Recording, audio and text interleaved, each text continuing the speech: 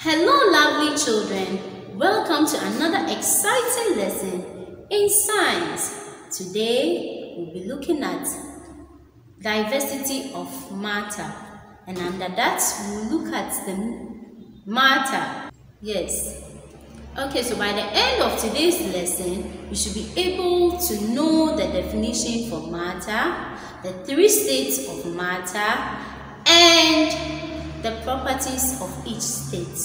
Now let's look at our keywords. Our first keyword is matter. Matter.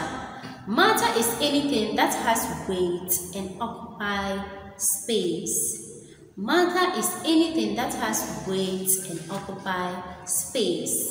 Our next keyword is compress. Compress. So compress is to press or squeeze together. Press or squeeze together. As we said earlier on, matter is anything that has mass and occupy space or occupies space. So a log of wood, milk of milk, car, book, soup, they are all examples of matter. We can see and feel objects such as stone, clothes, chairs, and the rest. All these substances are made of certain materials and they can occupy space. So we call them matter. They also have matter, uh, mass. Do you remember what we did the other day? We said materials have mass. That is the amount of body it contains. So there are three states of matter. These are, we have the solid states, the liquid states, and the gas states. Let's move on. So solid is a form of matter that has a defined shape. Solid is a form of matter that has defined shape and volume. So also all solids keep their shape unless you do something to it. So a shape of a solid like a clay. A clay can be easily changed when you compress it. In our in our keyword, we said compress means to press it. So when we press a clay, it can change its what? Its shape. So solids, we have examples like stone, we have um, books, pencils, pen, caps, and the rest. Okay, so you can look on your screen. I have examples of what solids there. Now let's look at their properties. So solids are solids have fixed shape. Their shapes are what? Fixed, as I said earlier. Unless you do something to it, they have fixed shape. Another property of solid is solid can be packed with your hand, can be picked with your hand. Sorry, solid can be picked with your hand. Good. Let's move on to the next one.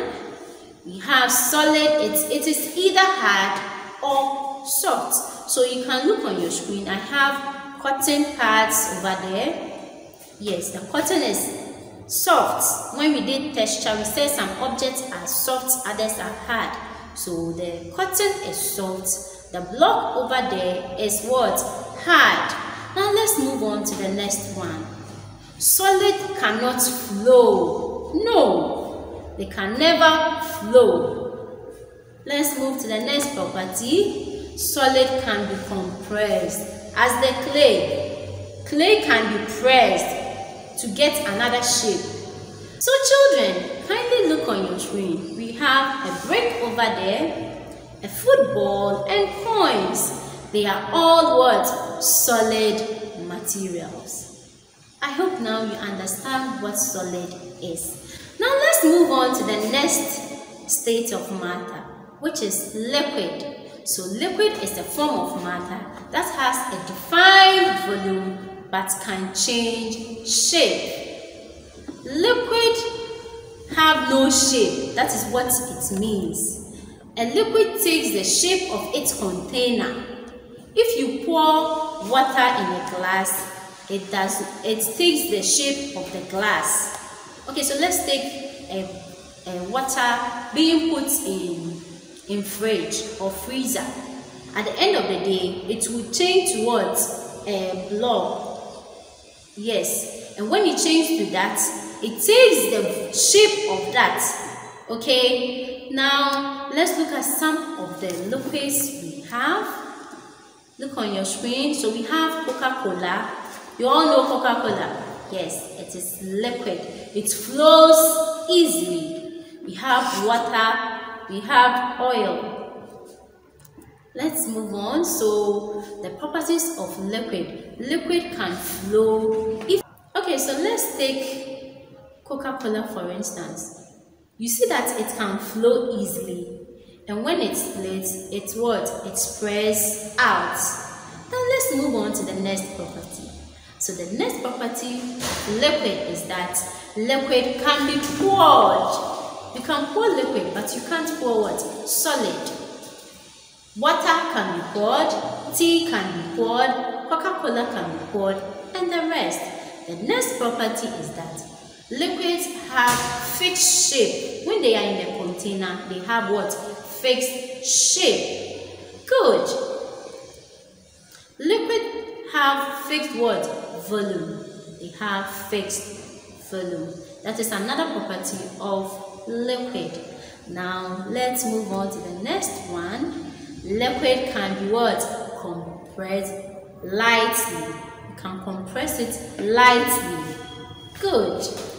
So, a glass of water is a liquid. A glass of milk is a liquid. A bowl of oil is a liquid. A jar of honey is a liquid. A glass of fruit juice is a liquid. Then a bottle of Fanta is a liquid. The tea we drink is also a liquid form. So any material, you, any matter you see around that flows easily is what? It's a liquid. That can be poured. And when you pour it and it splits, it, it spreads, it means that is what? A liquid. Now let's move on to the last property. That is the last property of matter, that is gas. So gas does not have definite shape or volume. So it can expand or fill any size of a shape or container. Have you seen a gas before? No, you can't see gas, but you can feel it. So gas have no shape. Gas, we have example as air. So air is a gas. We cannot see most gases. We cannot feel most gases, but you can feel their what? They are present. Sorry, you can feel their presence. You can feel air move around you. So now let's look at their properties. So gas have no fixed shape. Okay, so for instance, when you are boiling water, you see the vapor that comes out. That is a gas. It has no what? Fixed volume. Let's move to the next one. So gas flow easily. They flow easily like liquid. They flow easily. And they vanish in the air so if you are boiling something and you see the, the vapor or the steam coming out, at a point you will see it again, but they vanish in the air. Let's move on. So gas can be compressed and squeezed easily into container. So if you have a balloon and you want to fill it with gas, that is air. You just blow air inside. Okay, you have compressed it and squeezed it easily into a container. Now let's move on to the next one.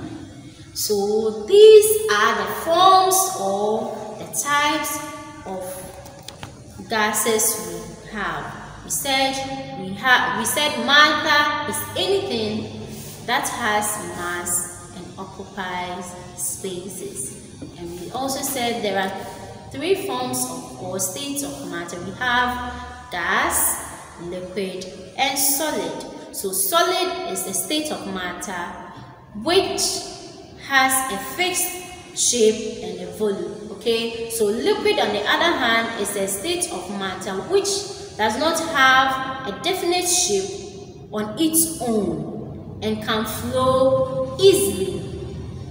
A gas is also a state of matter which has no fixed or definite volume on its own and can also flow easily. Gases vanish in the air as well. So children, we've come to the end of today's lesson. I hope you had a wonderful lesson with me.